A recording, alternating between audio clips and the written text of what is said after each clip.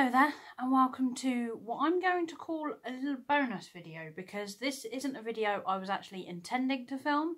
This is actually a challenge that I've decided to set myself and I thought I'd run you through it. So I hope you enjoy.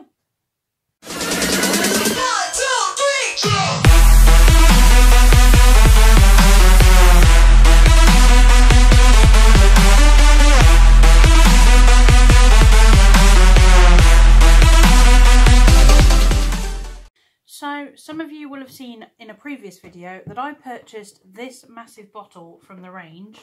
Um, it's actually a coin counting coin collector, I should say. It's not a counter.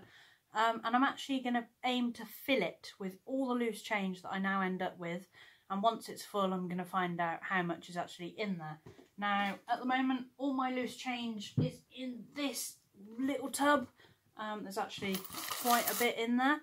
Um, and all that is going to be going in the bottle. So I'm going to tip that into there and then I'll show you how much there actually is in there.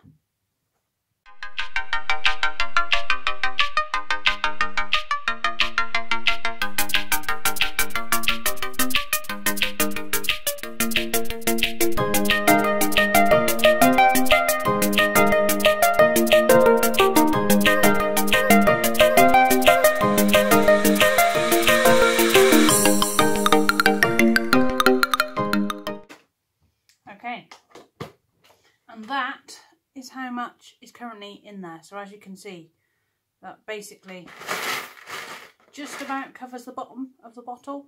Um, so I've got a long way to go, but as soon as this is full, I will reveal how much is actually in there. So I hope you enjoy, and I shall see you all soon.